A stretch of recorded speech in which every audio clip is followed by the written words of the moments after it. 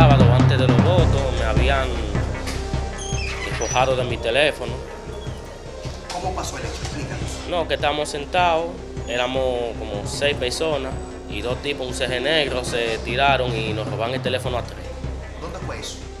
Por la calle de César Caiguá, subiendo por la escuela de Ugamba, la primera esquina.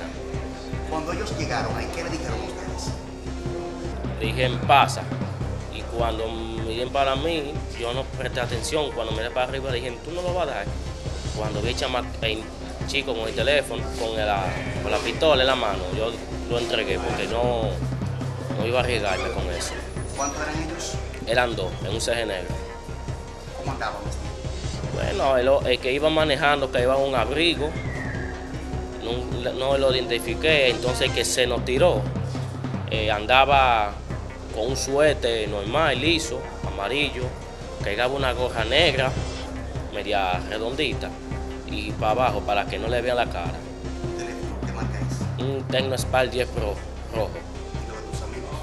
Era un iPhone 8 y un Redmi Note 8.